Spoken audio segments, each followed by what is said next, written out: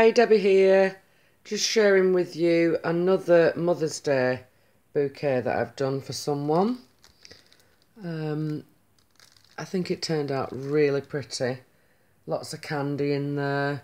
I made a back um, centerpiece that's got bling stuck on it there, just silver and pink bling. You can see it blinging there. Uh, full of candy uh, I'll show you a couple of the bits that I did get. Uh, I picked up these and it's a whole string of them. So there would have been one, two, two, three, five. You get five on a string. And I got it from the pound store. So that's, when you cut them up, that's going to be 20p each. And I attached it, obviously, onto uh, the one of the barbecue skewers with a bit of bling and a bit of tulle. And it turns out really pretty. Just secured it in with a bit of hot glue onto the stick. And it turned out really pretty. Uh, the barbecue skewers you get a pack of a hundred and I have been buying them from Tiger but the pound store now has the summer barbecue things in and we're not even in spring. So that's great. They're a pound a pack. So that's good. And what I've been doing basically make up a bunch of the cellophane and tulle filler bits. And you secure them with sellotape. And they make all the spaces in your basket filled up with some lovely bits of colour.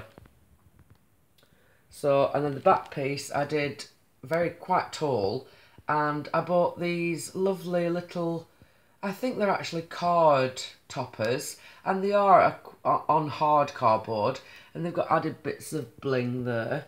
And there was about, I think there was 12 for £2. So they're a nice extra touch to add into your baskets. Uh, the bucket, tin bucket, was 99p and that was from B&M Bargains. So if you can, on your travels, look out for things that you can use for your baskets. It brings the cost down. This has actually been made for someone for their mum for Mother's Day. So everything I have used obviously is new. But if I was using it for maybe one of my family, I would maybe upcycle uh, um, a charity shop find bucket or some sort of I don't know receptacle that's that's deep enough and fill it with the oasis. But when it's for somebody else, I like to look to new, look for the new things. Obviously, because you don't know what people are like. I love upcycle stuff, so it wouldn't bother me. But yeah, so that's turned out really, really pretty. Uh, so I was quite pleased with that. Pleased with the finds with these roses. They're like a, like a rubber type feel, they're soft. So I'm going to go back and get some more different colours of those. I just thought that was a really good buy. And then obviously the, the tulle, um, I've been buying from Tiger. It's a pound for a metre by a metre. It's probably quite expensive like I've mentioned in my previous video. But uh, I will be getting some from Amazon. And then at Hobbycraft yesterday they had... Um, uh, a sale on this pink cello and usually it's about I don't know about four pound a roll. And it doesn't go very far. This roll doesn't really last. It probably do a couple of baskets and that'd be it. But it was a pound yesterday so I picked up another couple of those. Usually they are very expensive. This basket I'm not going to wrap in cellophane this time because I think it'll squash quite a lot of the detail. So I'm just going to leave that open but yeah, but the the preparation, I mean, they do take some time because you've got to prep all your all your fillers and you know to go around the but you have to make sure that you haven't got any space. You know, you can't see any sticks.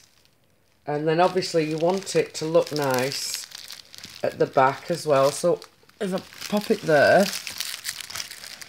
and you can see from the back, it looks lovely as well because you don't want to turn it round and have loads of burst sticks showing because that just wouldn't be nice at all. So take the time to finish off your basket properly, your basket, your bucket, bouquet.